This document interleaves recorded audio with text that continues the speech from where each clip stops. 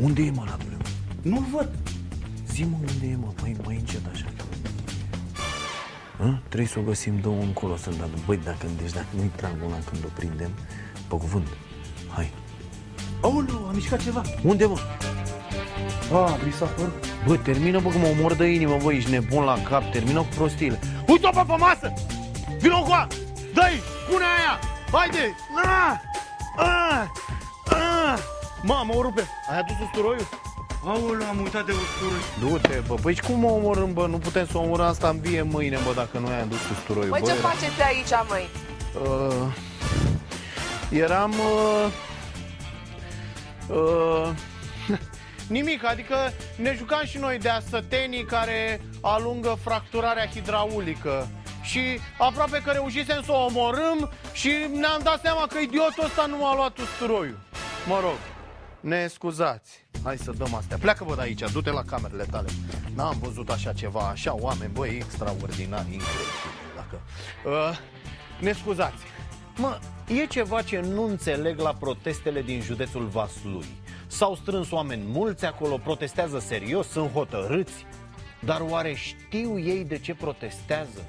Mie mi-e foarte greu să cred că cei mai mulți dintre oamenii ăia au idee ce este aceea fracturare hidraulică sau că știu să facă diferența dintre explorare și exploatare. Mulți dintre ei nu au cunoștințe generale care să depășească nivelul clasei a treia sau chiar a doua. Nu pot lega trei cuvinte unul de altul fără să faulteze grav limba română. Dar brusc au devenit experți sau cel puțin cunoscători în extragerea gazelor de șist. Strigă fără fracturare, gândindu-se probabil că vin americanii să le rupă mâinile și picioarele, nu? În fine, N-a stat nimeni de vorbă cu ei, cu cei mai mulți dintre ei. Au apărut mereu în față doar câțiva mai articulați așa, care nu par totuși localnici din Pungești. Așa că, deocamdată, e bine să luăm acțiunile alea cum granosalis, așa. Noi am reușit să vorbim cu oamenii de pe aici despre fracturarea hidraulică. Și iată ce a ieșit. Vax populi, doamnelor și domnilor.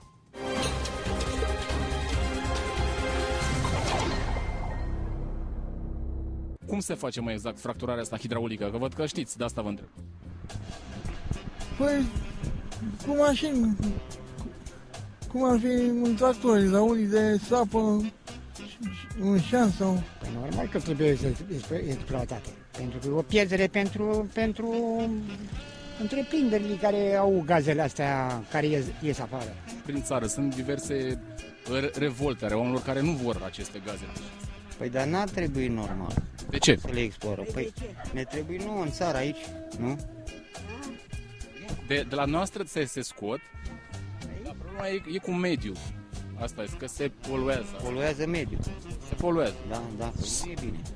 Nu e bine. Suntem poluați cu totul. Mediul e poluat. Noastră sunteți de acord. E poluat de mult mediul. Sunt diferite proteste împotriva acestor exploatări. Că produc pagube. Păi normal că produc pagube și undeva să duce un copil acolo, aprinde ceva și Mai exact, procedeul prin care acestea se exploatează este fracturarea hidraulică. Așa mai sunteți de acord? la gaze nu e fraudarea la gaze, numai la alte, la, la țiței și la altă substanță. Că eu am lucrat în petrol, am lucrat, am lucrat 37 de ani, am lucrat în petrol. Păi nu, și ce? În poluare n-ai trăit? Păi, Poluare, inhalezi aer de ăsta și Sunt scoase cu o fracturare hidraulică. Așa se numește procesul. Ce ar putea să însemne? V-ați întrebat așa de un Explozie ceva? ceva de genul până la urmă? Păi n-aș fi de acord cu chestia asta. Că sunt copii, sunt femei aici. Sunt... Dacă afectează în halul ăsta, n-aș fi de acord. Nu sunt. De ce? Deci avem și noi România noastră. De ce să exploatăm în alte țări? adică o filtrează. Filtrează gazele, cum ar veni. Cu ce? Până trecere într-o apă, printr-o apă, până ceva, până Deci trece gazele, gazele trec prin apă și ajung mai puțin. mai puțin poluat. Și așa sunteți de acord prin Da, fracturare? da, da. Anume cum pun fraudare hidraulică. Nu știu nici o să vă spun exact. Dacă nu explică, adică fraudare hidraulică, ce înseamnă asta fraudare hidraulică? Că dacă am lucrat în petrol normal că știu și treaba asta. Nu știu să vă răspund la întrebare.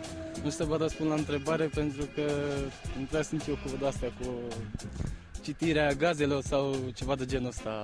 Dacă este în aproape la un zarzavat și vine mirosul ăla de gaze, poate să le dea o, un miros și la, și la așa.